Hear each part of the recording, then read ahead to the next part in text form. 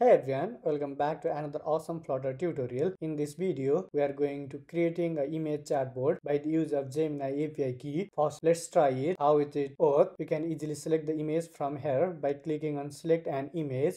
I'll just select the one image and select this image and I'll prompt the message, can you describe this image and just click on generate answer it takes some time to generate the response. Here is the complete description of this image. It is totally the same that we have shown is in the image. Let's try on the next image. Initially the select image button is in there. If you have select the first image then the select new image button will be appear here. Let's try the another image and i'll choose this image and i'll ask the next message which is which place is this? And again generate the answer. You can see this is the Tower Bridge in the London. By this way, you can easily interact with uh, image chatbot. You can ask any question if you have unable to know the name of this image, if you have unable to find out the place, if you have una unable to know any image, if you have unable to know any animal, you can easily find out by the use of this Gemini API key. The implementation process of this Gemini API key is simple. I will instruct you the every process. Let's start the complete video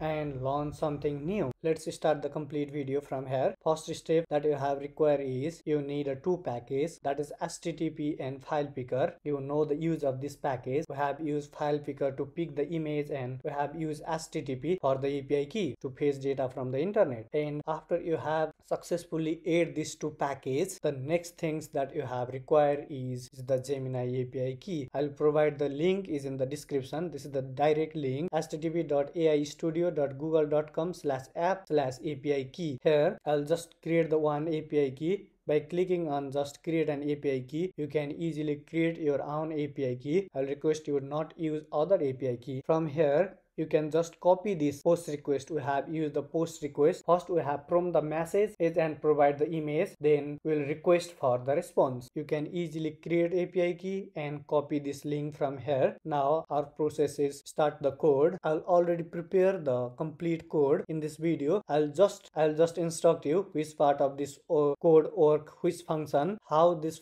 how this code work and the remaining all. First steps after we have successfully add the two package and get the API key your next steps is first just create the text editing controller. This is just easy. Many time you have defined the text editing controller. First things next things that you have require is use the final keyword and give the any name and store your API here. Store your API and just replace this your API key with this exact API key. After you have replacing next thing that you have require is first step what to do. We have first pick the image from the gallery gallery and this is just a simple process. This function i'll just copy this function from um, this file picker here. You can copy it and I'll use the future keyword and give the name pick image file picker dot platform and after you have picked the image if result is not null if you have picked the image if you have picked any image then update the state. Initially it is the blank screen with select an image. If you have just select the image just like this then update the state and show the image. This is the function of this set state. Update the state with an selected image. And after you have select the image next thing things that we have required is send an image and prompt to the API and fetching a response. And you have see this button. Initially, this button is not there. If you have select the first image, then there is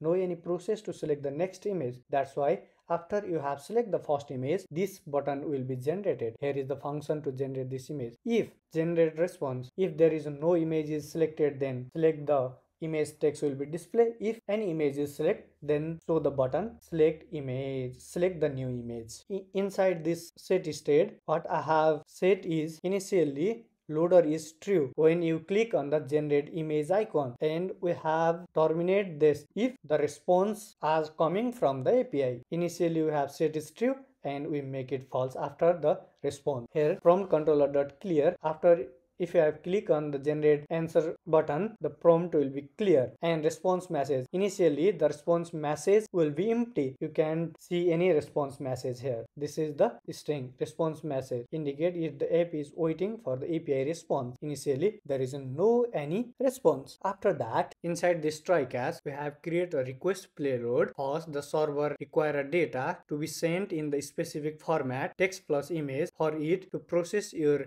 request properly. When you send the data to the server like an api you need to organize the data into a specific structure. The server can understand this structure is called the payload. The this structure can itself specify by the gemini api key. Here the structure contain part text. This is the format that i have followed. After that we have convert the image to base 64 what is the mean? What is the base 64 base 64 is the way to encode binary data like an image into a string made of a readable character like letter number etc. Computer store a image in a binary data long sequence of 1 and 0 however when we send the data over the internet it is easier and safer to use a format. This is the format that we have sent the request. And after after we have post the request we use the base 64 format and it's convert into a 0 and 1 computer only understand the machine language. In short server and api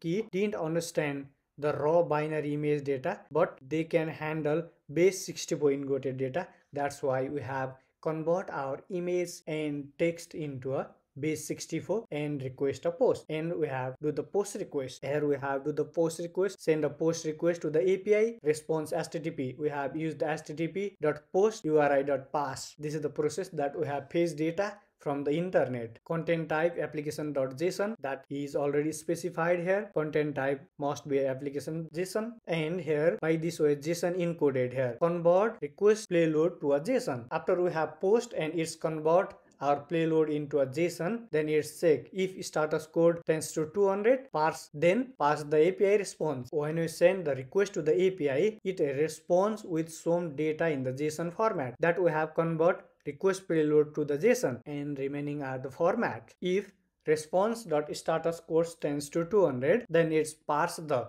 API key. If there is any error, then it's handle and it's off the loader and show the response. This is the way that you display the response message. This is just a simple process. If you have tried then you can easily understand. This is the functional part, remaining all are the UI part. This is the on app bar. I'll just define the image chat app here in the body section. I'll use the list view and first I'll display the image display section. This section initially if pick image tends to null only show the container and the selected image. Select an image text inside this. And if you have already select the image then show the select new image. This is the logic. After this here is the simple text field. And inside this text field you will provide your prompt. And in this generate answer button i'll just call the generate response that we have created here. Inside this after this generate answer button I'll just say if if the response is waiting then show the circular progress indicator otherwise show the response. That's it. This is the format and structure and this is the way that I have written the code.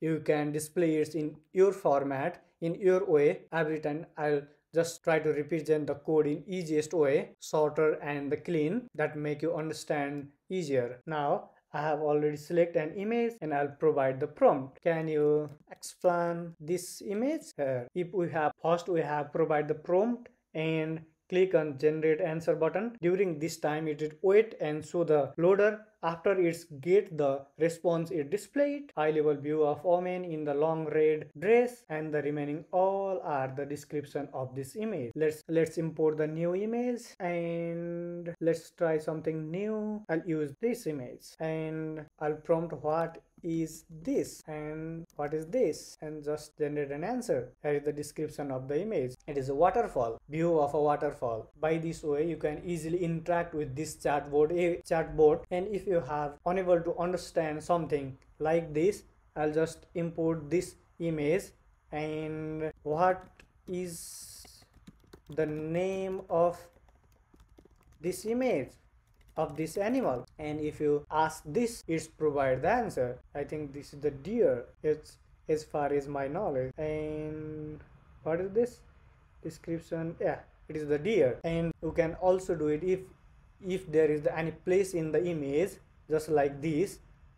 And if you are unable to find this which place is this? You can ask this type of question. You can interact this.